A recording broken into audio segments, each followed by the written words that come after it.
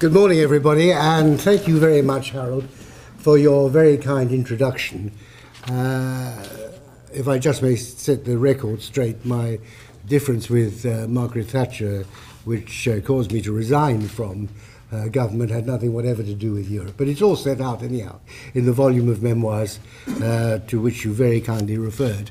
But thank you above all for inviting me to talk to you at this conference and to come to Princeton, one of the preeminent universities of the whole world. Uh, this is my first visit to Princeton, not in fact my first connection with Princeton, because I'm glad to say that uh, when I founded my think tank, the Global Warming Policy Foundation, uh, some seven or eight or maybe nine years ago, uh, we have a, an academic advisory council, and I'm glad to say we have two professors from Princeton on that academic advisory council. Uh, the title of this conference is inadvertently, uh, but importantly, somewhat misleading. It's called Europe and the Challenges of Brexit, uh, but the issue is not Europe. With its great history, incomparable culture, and diverse peoples, but the European Union and that's a very different matter indeed. To confuse the two is both geographically and historically obtuse. Uh, Switzerland, for example, is, while quintessentially European, is not in the European Union and is incidentally flourishing. And European civilization existed long before the coming of the European Union and will continue long after this episode in Europe's history is hopefully over. On the European mainland, it has always been well understood that the whole purpose of European integration was political, and that economic integration was simply a means to a political end. In my country, and perhaps also over here, but I'm not so sure, of course, uh, that has been much less well understood, particularly with the bus- within the business community, who sometimes find it hard to grasp that politics can trump economics. But the fact that the objective has always been political doesn't mean that it's in any way disreputable. Indeed, the most compelling original objective was highly commendable. It was bluntly to eliminate the threat to Europe and the wider world from a recrudescence of German militarism by placing the German tiger in a European cage. Whether or not uh, European Union has in fact had much to do with it, that objective has been achieved. There is no longer a threat from German militarism. The fact that today German influence is increasing peacefully, largely at the expense of France, as a result of Germany's superior economic performance is not something to which anyone can legitimately object. But in the background, there has always been another political objective behind European integration, one which is now firmly in the foreground. And that's the creation of a federal European superstate, a United States of Europe. Don't be seduced, incidentally, as too many in the State Department are, by the resonance of that phrase. Not one of the conditions that contributed to making a success of the United States of America, not one, exists in the case of the European Union. But that's what European Union is all about. That's its sole raison d'etre. And unlike the first objective, it is profoundly misguided. And it's certainly not right for the United Kingdom as far back as January 1989 as Chancellor, and well before the single currency had come into being, I pointed out in a speech at London's Chatham House that the only way that European monetary union could be made to work would be if it were to be accompanied by full fiscal union, which in turn required uh, full political union. I warned that it would therefore be most unwise to go ahead with the project, since whatever the European elites and above all the bureaucracy, may have wished. A full blooded European political union was not wanted by the majority of the peoples of Europe. And that remains the case today, indeed, uh, more so than ever before. Unfortunately, a fundamental contempt for democracy has always been one of the most striking and least attractive characteristics of the European integrationist movement. However, uh, noble its intentions. The need for monetary union to be accompanied by both fiscal and political union is now widely accepted and it's been endorsed most recently by the European Union's own so called Five Presidents report on the completion of monetary union, which calls for the creation of a single Eurozone finance ministry, presumably headed by a single Eurozone finance minister by 2025. And it's also what all economic history tells us. There's not a single major monetary union in the world that is not also a fiscal union and a political union. Uh, the logic, uh, both economic and political, is incontrovertible. Indeed, the monetary union tout court was deliberately designed to fail. The father of the euro, Jacques Delors, whom I knew very well when, as French finance minister, he was my opposite number in the European Communities ECOFIN Council and elsewhere, was well aware that it could make uh, sense only as a stepping stone to political union. It was a colossal and some might say grossly irresponsible gamble. Not least because the lesson of history is that monetary union invariably follows rather than precedes political union. That was the case to cite just three examples, with the United States Monetary Union, the German Monetary Union, and the Italian Monetary Union. Hence, in large part, the continuing Eurozone disaster, and with it, continuing European economic underperformance. But the coming into being of monetary union, there can be no doubt whatever of the determination of the leaders of the European Union to persist with it at all costs has fundamentally changed the nature of the European Union and of non Eurozone Britain's relationship with it. In his new book, The End of Alchemy, the former governor of the Bank of England, Mervyn King, devotes a chapter uh, to the European Union. And in it he points out that, I quote, the crisis of monetary union will drag on and it cannot be resolved without confronting either the supranational ambitions of the European Union or the democratic nature of sovereign national governments. One or the other will have to give way. Muddling through may continue for some while, but eventually the choice between a return to national monies and democratic control or a clear and abrupt transfer of political sovereignty to a European government cannot be avoided. Unquote.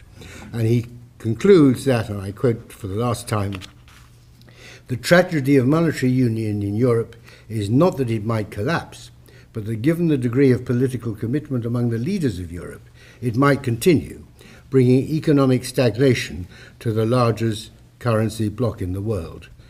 Unquote. Meanwhile, for the United Kingdom to remain in the European Union would be particularly perverse, since not even the political elite in my country wish to see this country absorbed into a United States of Europe. To be part of a political project whose objective we uh, emphatically don't share cannot possibly make sense. It is true that our present Prime Minister argues that he secured a British opt out from the political union, but this is completely meaningless. We continue to be fully su- subject to the ever growing corpus of EU legislation and regulation, all of it directed towards the achievement of full political union. And the theology of the acquis communautaire, reinforced by the so called passerelle clause of the EU's Lisbon Treaty, means that competences transferred from the member states to the Union can never be repatriated. The traffic is only in one direction. But comes the inevitable question what is your alternative to membership of the European Union? A more absurd question it would be hard to imagine because the alternative to being in the European Union is not being in the European Union. It may come as a shock to the little Europeans that most of the world is not in the European Union. And indeed, most of these countries are doing better economically than most of the European Union. Moreover, out of the European Union, the UK would no longer have to pay its annual EU subscription of some $14 billion a year and rising for nothing in return. Yes, nothing. for the figure is calculated after netting off everything British farmers and scientists and others at present receive from the European Union. Nor would UK business and industry have to carry the burden of excessive European regulation, which bears down particularly hard on the SME, small and medium sized enterprises sector. Yes, of course, British businesses would have to conform to EU regulation when exporting to the European Union, just as they have to conform to US regulation when exporting to the United States. But exports to the European Union represent only some 13% of UK GDP, and the proportion is declining. The liberation of the remaining 87% of the British economy from a bureaucratic Brussels which believes that more Europe is always a good thing and that more Europe means more EU regulation is greatly to be desired. Uh, to suppose that being within the so called single market confers a great economic benefit is palpably absurd. If it did, most of our European partners would not be in the mess that they're in today, with miserably low growth, high unemployment, and ultra high youth unemployment. Moreover, there's a more fundamental reason than this, which goes beyond the mischief of the single currency. Towards the end of his long life, the great Fritz Hayek was interviewed by the American philosopher W. W. Bartley, who asked him about his differences with the Keynesians. Hayek replied in these terms, and I quote Keynes, against his intentions, had stimulated the development of macroeconomics. I was convinced not only his particular conclusions, but the whole foundation of macroeconomics was wrong. So I wanted to demonstrate that we had to return to microeconomics. End of quotation. This is of the first importance. Over anything but the very short term, national economic performance depends on the efficiency and flexibility of the microeconomy, sometimes known as the supply side. And that insight is what drove the economic reforms of the Thatcher administrations of the 1980s, of which I was a part, and it worked. An important element of that was intelligent deregulation. By contrast, the European Union's addiction to ever more regulation can only continue to damage its economic performance. Of course, there are some who find the whole concept of national interest objectionable, and they see European Union as a way of getting away from that. In an age of globalization, it is argued the nation state has become an anachronism. History provides this, perhaps the simplest refutation of this muddled thesis. The late 19th century is widely recognized as having been the heyday of the nation state. Yet it was also the epoch that saw the first coming of economic globalization, an era of massive economic progress which came to an end only with the onset of the First World War. Others argue that whether or not the nation state has in fact become obsolete, it certainly ought to be, given the havoc that nationalism has wreaked over the past hundred years.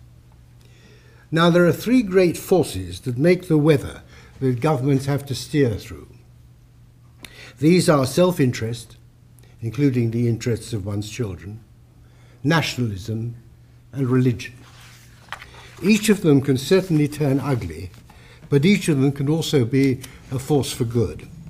It makes no more sense to reject nationalism tout court because of its evil exploitation by Nazi Germany than to reject religion tout court because of the excesses of militant Islamic fundamentalism.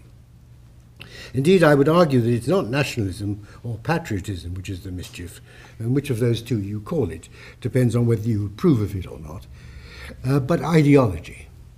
Think fascism, communism, Islamic fundamentalism. For while nationalism or patriotism can properly respect the nationalism or patriotism of others, ideology accepts no such limitation. So far as self interest is concerned, Adam Smith long ago demonstrated how the market economy channels this into public benefit. But nationalism, too, is important in this context. It is no historical accident that the evolution of the nation state and the evolution of the market economy coincided. For the market economy rests on a non economic infrastructure, of which a vital component is the rule of law. And in a free society, the rule of law will work satisfactorily only if the people feel that, at the, the last resort, it is their law. Their law, in two important senses, is the law of their country, to which they have a keen sense of belonging, and it is the law of their government, which they have democratically elected, and which, even more important, they can democratically eject. We are told that EU membership is necessary for our security in a dangerous world, and that is poppycock. But I will leave David Owen to deal with that side of the issue. Uh, the world, the fact is, the matter is, that the world we live in today is a very different one from that of 1973, when the UK joined what's then known as the Common Market. Britain today is the very opposite of the sick man of Europe we were then. Germany has been peacefully reunited and has forsworn any militaristic ambitions. The Soviet Union is no more. The world economy has been transformed by the coming of globalization, with the emerging economies of Asia, Latin America, and much of Africa steadily catching up with the West as they abandon socialist economics and embrace the market economy. This is the world of today and tomorrow, which the United Kingdom, freed from the constraints of the EU, has the opportunity to take the greatest advantage of.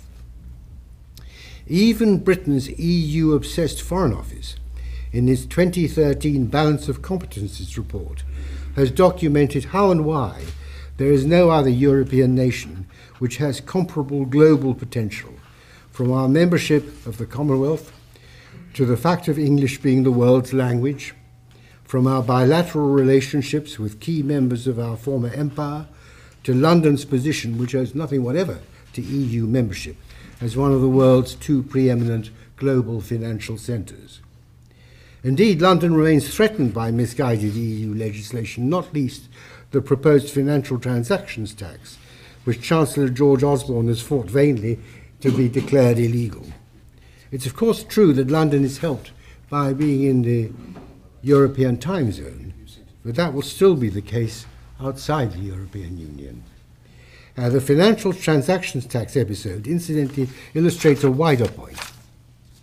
For any member state of the European Union, EU law automatically overrides national law. In the same way, the European Court of Justice is superior to all national courts, including the UK Supreme Court.